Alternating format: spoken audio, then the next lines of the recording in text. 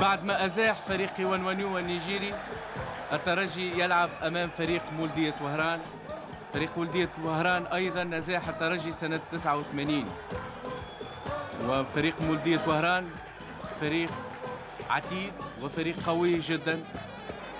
بفضل تصفاوت مزيان قايد وكذلك سلوسي وكاد في بداية هذه المباراة أن يبادر بالتهديد لكن عزيمة الترجي عزيمة قوية وعزيمة فولاذية وفريق الترجي كبر في فنياته وكبر في تركيزه وكبر كرويا ومعنويا وتمكن في هذه المباراة من التسجيل في الشوط الأول عن طريق نور الدين بوسنينة في الدقيقة 41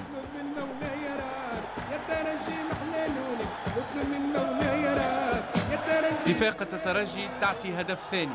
توغل ممتاز جدا من طارق ثابت وكانت ماليتو لي. دقيقة 44 يحقق الهدف الثاني.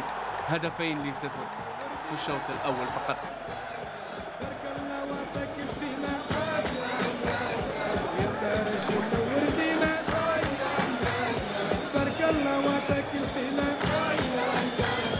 الشوط الثاني.